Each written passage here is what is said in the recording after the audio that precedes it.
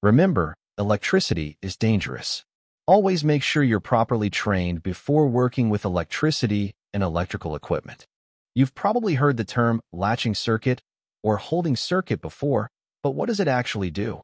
And why do we even need it? In this video, we clear it all up. I'll explain how latching circuits work in relay logic and PLCs, why they're essential, and where you'll find them, from motor starters to industrial automation panels. Let's say we have a circuit with two switches in series, a maintained normally open selector switch and a momentary normally closed emergency stop connected to relay 1. Now as soon as the selector switch is turned on, current flows through the emergency stop and relay 1 energizes. It will remain on as long as the circuit stays closed.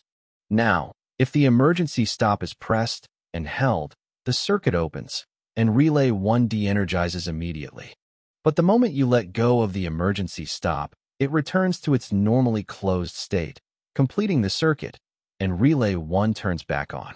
Even with a maintained emergency stop switch, as soon as it's turned back to its normally closed state, the circuit is restored, and relay 1 energizes.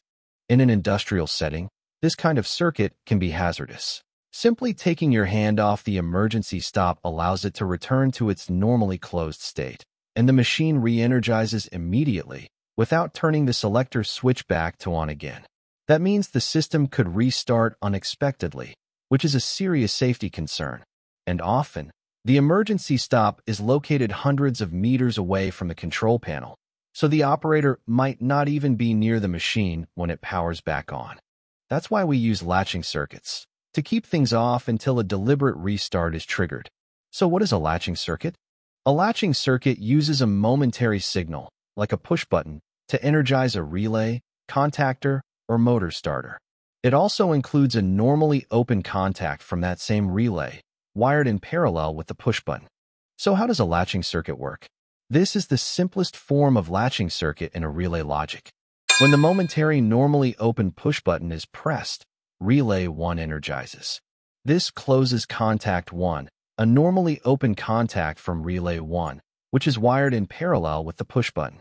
Because contact 1 is already closed and passing current, releasing the push button doesn't break the circuit.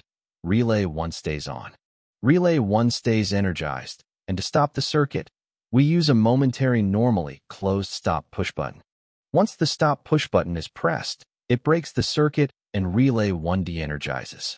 To turn it back on, you'll need to press the start push button again. Here, we are using relay logic to create a latch. But how would you do this in a PLC program? That is coming up next. In PLC programming, there are two common ways to create a latching circuit.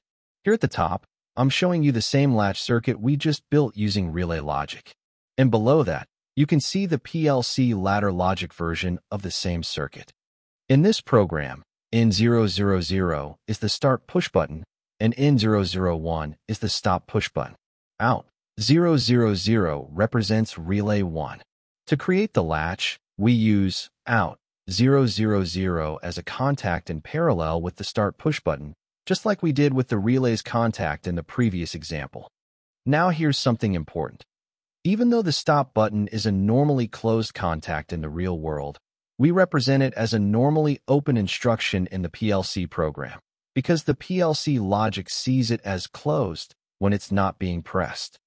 Another way to create a latching circuit in a PLC is by using the set and reset instructions. When the start push button is pressed, relay 1, or output 000, is set, which means it turns on and stays latched. Then, when the stop push button is pressed, the output is reset, and relay 1 turns off. Now here's an important detail. In this setup, the stop push button is shown as a normally closed contact in the PLC program. That means it has to open by being pressed for the reset instruction to activate. Now that we understand what a latching circuit is, let's talk about what it's actually used for. The first common use of a latching relay is in a master control circuit. The latch is used to power up the control panel, with the MC2 contact supplying power to the rest of the system. When the stop button is pressed, the relay turns off and the entire control circuit shuts down. Another common use of a latching relay is in motor control circuits. Here, we use a latching circuit to start and stop the motor. The auxiliary contact M1 from the motor starter is wired in parallel with the start button. This keeps the motor running after the button is released. Pressing the stop button breaks the latch and the motor shuts down. To start it again, you have to press the start button once more. Another use for a latching circuit is when you have a momentary signal that only lasts a few seconds but need the output to stay energized longer. For example, a limit switch might only activate for a moment, or an instrument might send a brief temperature spike signal, but you still need to latch an alarm or hold that signal for action. There are many other applications, but these are just a couple of common examples. And that's the basics of how a latching circuit works, and why it's so useful for controlling machines. If this helped you understand the concept, imagine what you could learn in our next videos. So hit that subscribe button, give it a like, and join me here on Electrical Lad, where we make electrical concepts easy to understand.